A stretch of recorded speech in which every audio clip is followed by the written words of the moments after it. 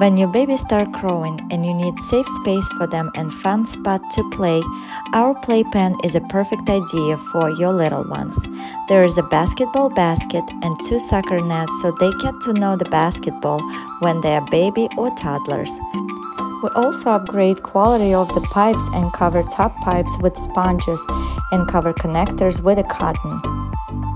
We distributed 20 pit balls, 1 soccer, 1 football balls, inflator, 1 storage bag, 1 oversized organizer, 4 keepers and non-slip suction cups under the full post of the fence.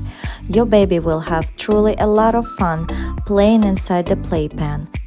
Colorful and soft mat keeps your baby protected during the play and helps mom to keep the area clean.